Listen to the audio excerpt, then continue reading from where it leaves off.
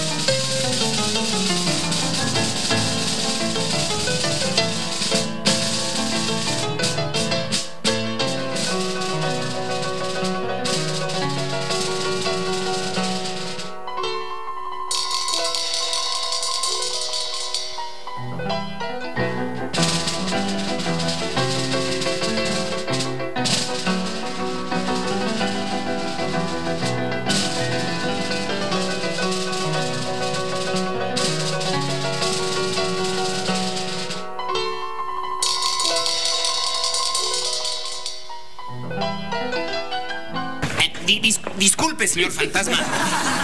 Eh, ¿Podría hacernos el favor de retirarse de esta casa? Está usted molestando a la señora.